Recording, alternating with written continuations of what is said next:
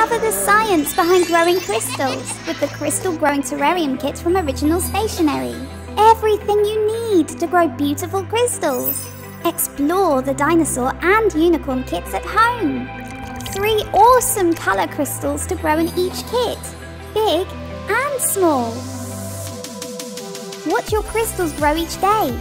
You'll be excited to see what amazing shapes they become. And whilst you wait, start building your terrarium garden. What magical scene will you create? Both kits come with glistening sand colours to add to your mini forest garden.